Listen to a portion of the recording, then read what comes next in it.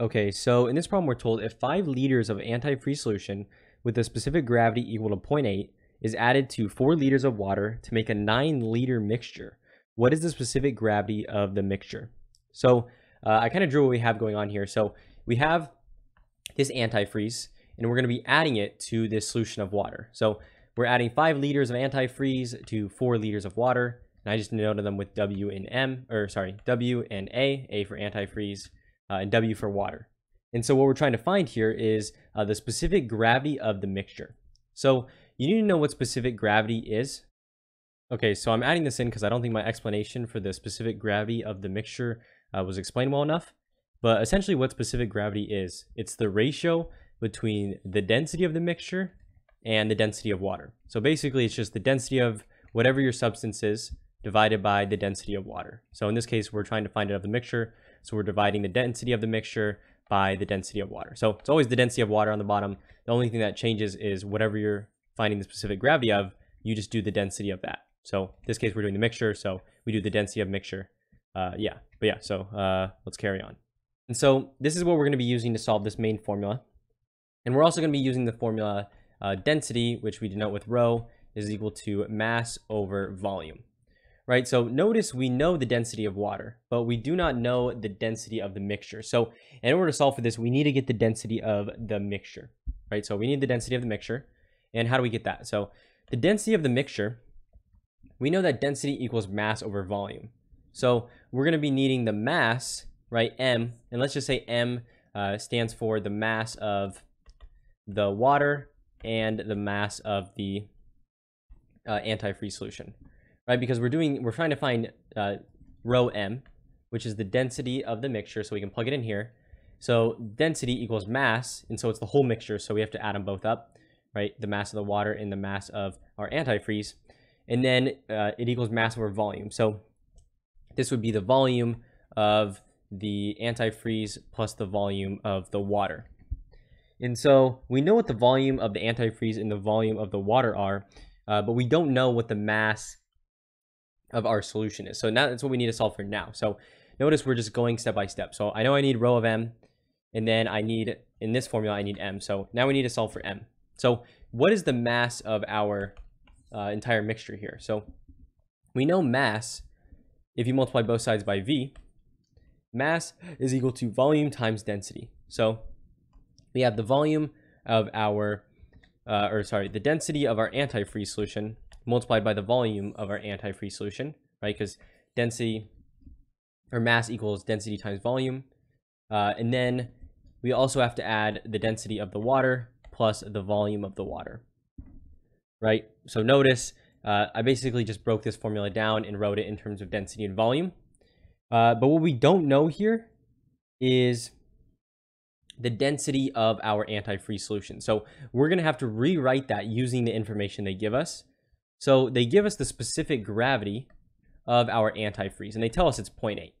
And as I said before, specific gravity is the ratio of our substance, in this case, the antifreeze, divided by uh, the ratio or the density of water. So this would be that. And so if we want to replace this with specific uh, gravity, right, our rho A, we would just multiply by rho W. And that would give us uh, this in terms of what we want it to be. So let me go ahead and replace this. So all I'm doing is replacing rho A with specific gravity because that's what they give us. So we have S specific gravity of our antifreeze multiplied by the density of water, right? Multiplied by the volume of water uh, plus, or sorry, the volume of our antifreeze uh, plus the density of our water multiplied by the volume of our water. So all I did was replace this basically with that rho of A.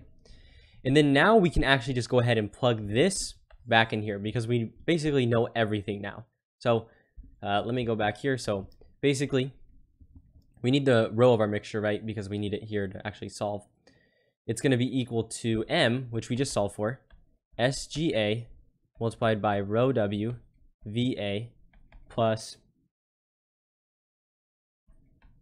uh, rho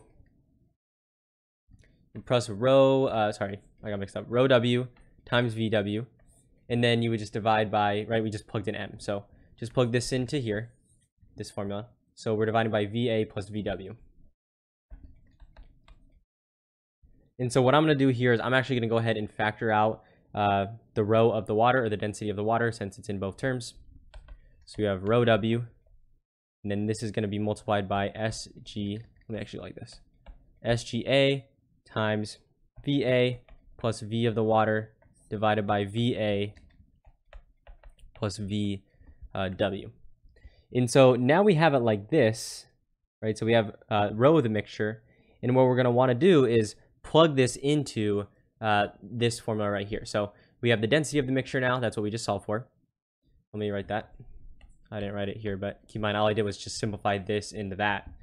Um, and yeah, so the reason why we factored out this rho W is when we plug it in here, they're going to cancel. So the rho W is going to cancel, and basically SGM, right, this uh, specific gravity of our mixture is equal to, let me just write it out, SGA VA plus VW over VA plus VW, uh, and then just divide by, right, because this is uh, rho m, or the density of our mixture, divided by the density of the water, or density of water, uh, and then these will cancel. So it just equals SGA VA plus VW over VA plus VW. And we actually know all these values, so it's really just a matter of plugging it in. So uh, SGA is 0.8 times uh, the volume of our antifreeze solution, which is 0.5, because that's what we're adding, plus the volume of the, or sorry, not 0.55, uh, plus the volume of our water, which was 4 liters, uh, and then we just add them up. So 4, or the volume of our antifreeze is 5 plus 4.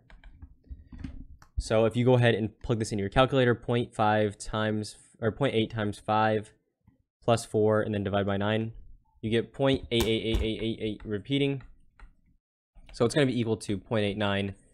Uh, and then keep in mind, there's no units for this. So just 0.89, that's going to be the value of your specific gravity of your mixture here. So SGM. So 0.89, that's going to go ahead and uh, be your answer.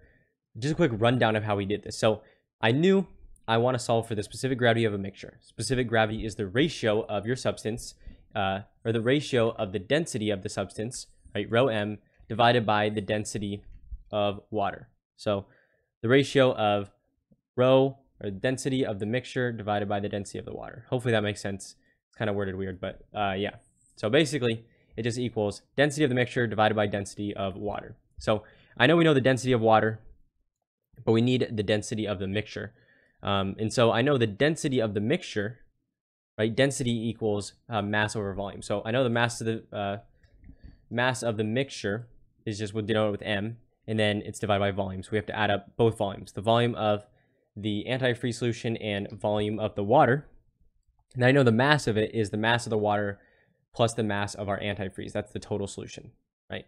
And then I just broke it down. So the mass of ours I just broke it into density times volume to replace the mass for both of them. And then I had to replace the density of the antifreeze with the specific gravity. So I use this formula here. Specific gravity equals the density of the antifreeze divided by the density of water. Uh, and then I just plug that in there. And then it's really just a matter of plugging this into the density of your mixture. And then you can factor out the rho W. And then you would just plug uh, the density of your mixture back into our original. It will cancel the density of water, and you can just go ahead and solve. And uh, yeah, so hopefully that makes sense. Uh, the main takeaway is the specific gravity is the density of whatever your substance is divided by the density of water. So it's that ratio right there. Uh, but yeah, so that's going to go ahead and be your answer, 0.89. And hopefully you found this video useful.